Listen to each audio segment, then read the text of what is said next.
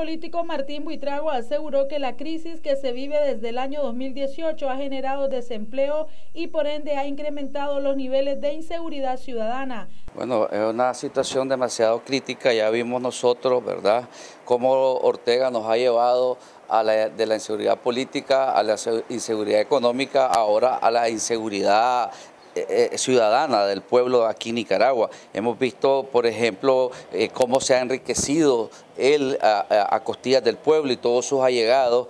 Ya hemos visto nosotros cómo la pequeña industria hotelera, ¿verdad? Que la mayoría pues, son pequeños hoteles, han quebrado, han fracasado porque los turistas ya no quieren venir a Nicaragua por la misma inseguridad que, que, nos, han llevado.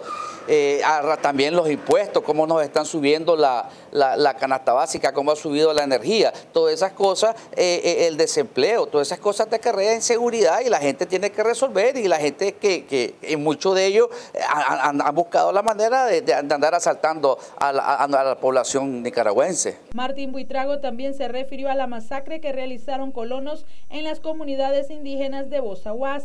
Miramos, por ejemplo, el asesinato de, la, de, la, de, la, de los hermanos campesinos en la costa caribe, ¿verdad? que son no más que que llegarles a robarles sus tierras. Es parte de la corrupción de que nunca se ha, querido resolver ese problema. Y este gobierno ha acabado con la clase media nicaragüense. Aquí eh, eh, eh, nos ha empobrecido, ¿verdad?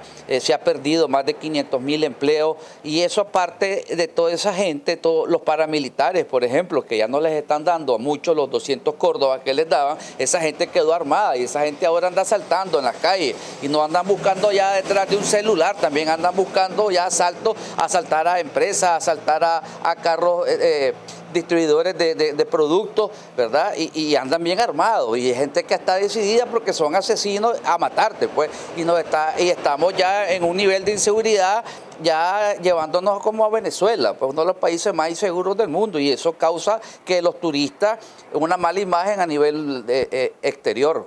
Para Noticias 12, Castalia Zapata.